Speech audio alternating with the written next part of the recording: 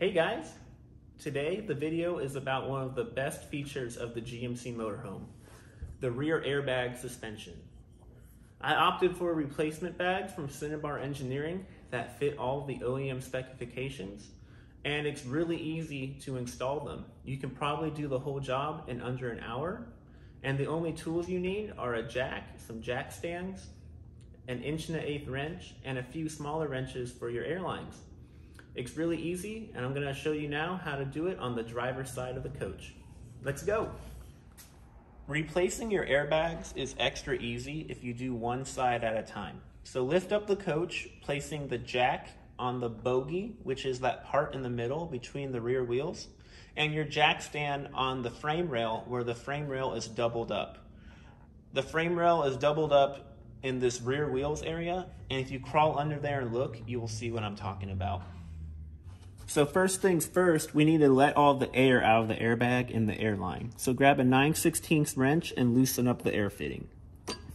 They're not very tight because the factory ones are plastic. You might hear a whoosh noise when you take off the hose, but I had already aired down this side. The airbag itself is only held on with two nuts and the size of them is an inch and an eighth. What I like to use is a box end wrench and then just crack them loose. They're not that tight. You can probably do it by hand now. And then do the other side. I like to use a box end wrench because it's kind of a tight fit here inside of this bogie arm pocket. But just loosen it up and then you can spin it off again you're gonna take off the nut and remove this star washer as well. We, the airbags come with new ones in the kit. With the nuts on both sides removed, you can take your hand and push down on either bogey arm and let the airbag free. Comes right off. It's a great time to do some cleaning, so I'm gonna use some brake cleaner and a wire brush to make sure all the dirt is out of the way.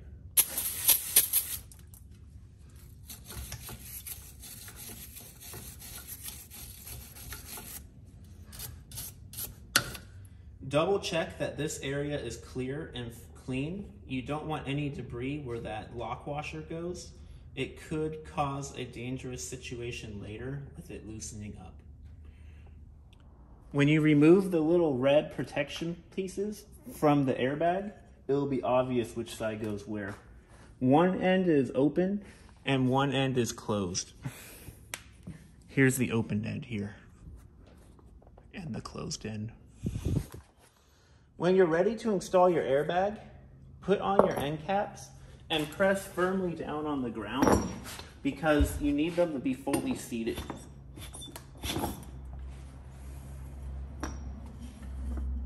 See how there's not much thread sticking up out of there?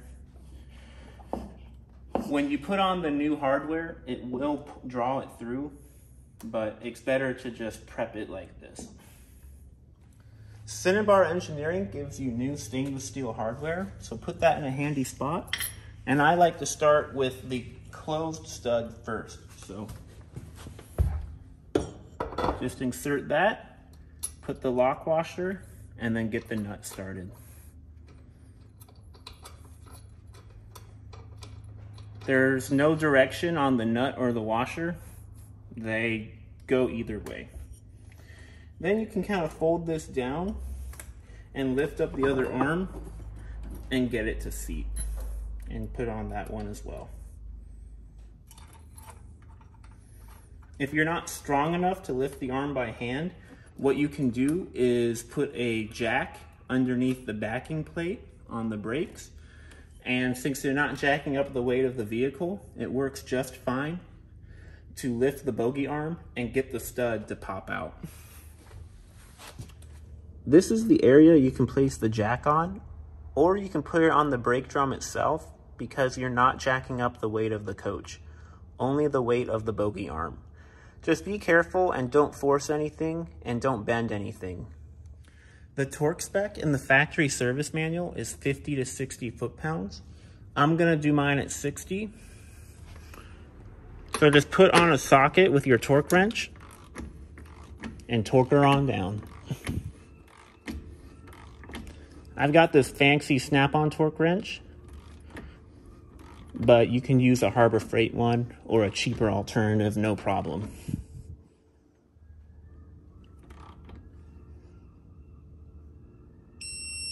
Perfect. The seagulls are reminding me to tell you that 50 to 60 foot-pounds is about half of what a typical lug nut is torqued to. So keep that in mind.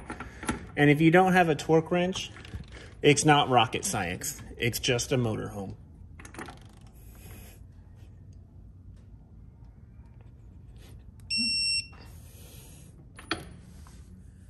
It's not a bad idea to install an airbag isolator kit, but Cinnabar does have these all brass air fittings. So we'll just put those on. You want to thread it in and it already has a sealant on there. You tighten it down with a 9 16 wrench.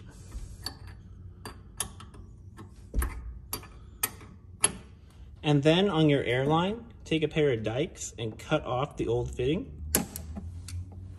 and unscrew the end from the brass fitting. Inside of the nut is this little ferrule. So put the nut on the hose and then put the ferrule on as well. If you don't cut the hose clean on the end, it might be a little tough.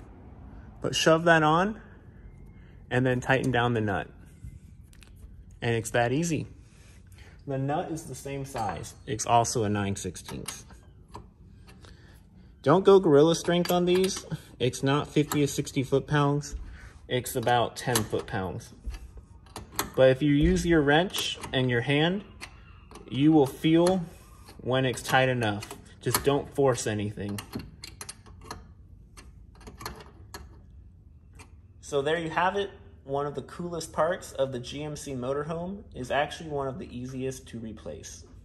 The only thing left to do is to spray this down with soapy water to check for leaks. Use something like Dawn dish soap in a spray bottle and look for air bubbles. The air bubbles are the air passing through and that is your leak. If you have a leak, just tighten down the fitting. It will most likely go away. These airbags are available from Cinnabar Engineering, and the original airbags made by Firestone have been out of production for years. I recommend keeping your old airbag as a spare, just in case of an emergency. And make sure to have fun, guys. Use your GMC wisely and travel safe. Thank you for watching.